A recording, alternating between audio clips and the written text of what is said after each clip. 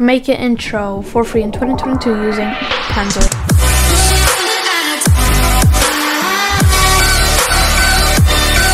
Hello everyone, welcome back to another video and in today's video I'm going to be showing you guys how to make a intro with Panzoid um, super easily. So link is going to be in the description. Um, once you're on the page, uh, you're going to click on click on creations. Uh, basically click on the, these dots here and then click on creations. Should take you here. So basically, if you want to see how intro looks, just click on it, click on open and click clip maker, then it will take you into this clip making edit thing.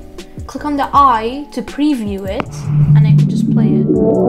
I don't want to get copyright striked, so I don't know if this is copyright or not, but anyway, you can see that it's working, so just play it and see if it's good.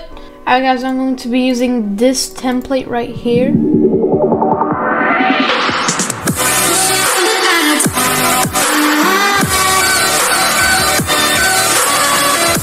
As you guys can see, that is my intro, but it shifts colors. So I didn't like that it shifted colors. Um, first of all, I'm going to be showing you guys the basic settings over here.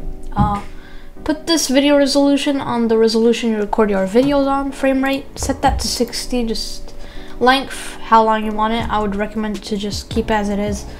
Um, if you click here on this cube here, this 3D cube, this comes up.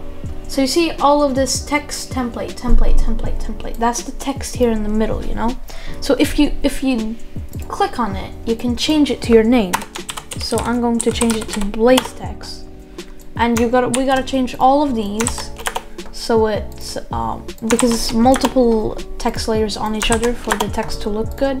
You guys can also change the font if you guys do not like the font of the template you just uh, click on this cube um, uh, and then click on the text whatever let's say this is your name so I'm going to just set it to Blazetex so say I want to change a font let's say I don't like this font um, you click on it a text layer um, and then you click on custom font and then you select your font um, by the way you can download all of the fonts on dafont.com over here are a lot of fonts. I'll be linking that in the description as well. Um, you just select the custom font. Uh, mine. Uh, here it is. This is the font I want to use. So I just select it and bam, that happens. And I just select it for all of these text layers. And as you guys can see, this is the font of my channel. So me just change it all and bada bing bada boom I just changed the font super easily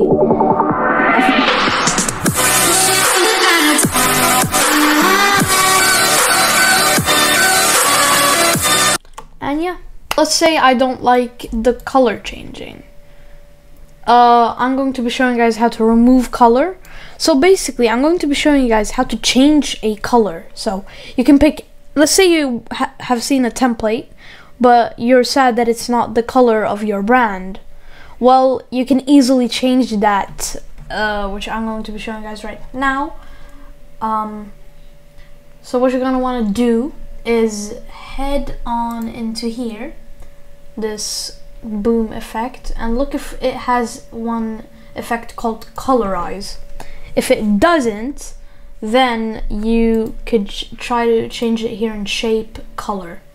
That's where you change it. But just look if it doesn't have the effect then you change it in here. But for me it has the effect of course. Um,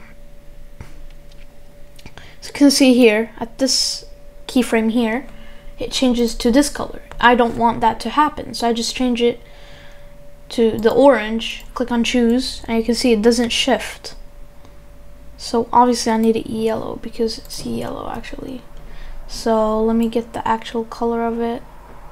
It's that color, I think. So, uh, let's just copy that. And then just, let's say I don't want it to change colors at all. Just go ahead and edit all of these keyframes to whatever you want. Or if I want it to change to different colors, let's say I want it to change to red here.